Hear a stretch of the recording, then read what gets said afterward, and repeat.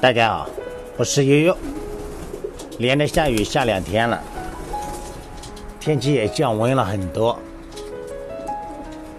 这几天回答鸽友的问题最多的就是问的问题最多的啊，就是那个鸽子拉稀便了？你看我这个鸽子拉的很稀很稀的，还是绿便。这种是病毒啊。我这两天也没有注意，因为阴天的情况吧，打扫鸽舍，鸽舍里面有点好像进水了一样的，也都是稀稀的。我今天早晨才注意的。朋友们，你们说这种粪便是什么情况？那如果鸽友家里面有鸽子拉这种粪便的，也可以看评论区啊，有知道的鸽友也可以在评论区里面评论一下，让我们这些新手养鸽的朋友。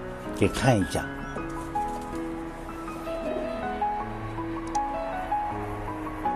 反正都不是怎么好。早几天晴天的时候也是特别的好，这两天降温了。你看这小鸽子还吃粪便，脏不脏？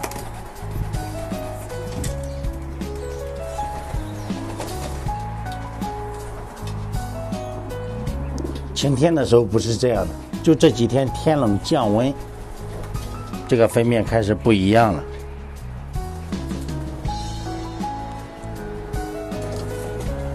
因为天气冷的原因吧，鸽子还不是怎么的精神，不是特别的活跃啊。朋友们，如果你那个家里面的鸽子拉的是那个稀便和绿便，你是怎么样治疗好的？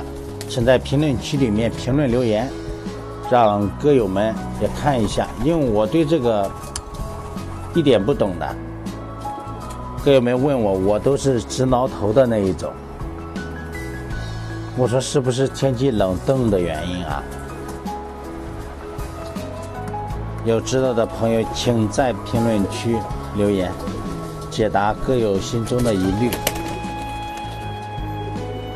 嘿嘿，这个小鸽子可会抢镜了。这就是从鸽舍里面拿过来的那一只鸽子，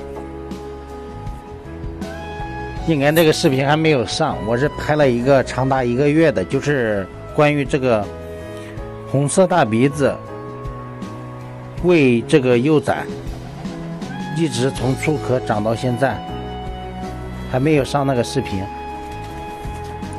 好了，本期视频就分享到这里，记得在评论区里面评论留言。关于这个鸽子的这个粪便的稀便和绿便的这个问题，麻烦了朋友们，再见。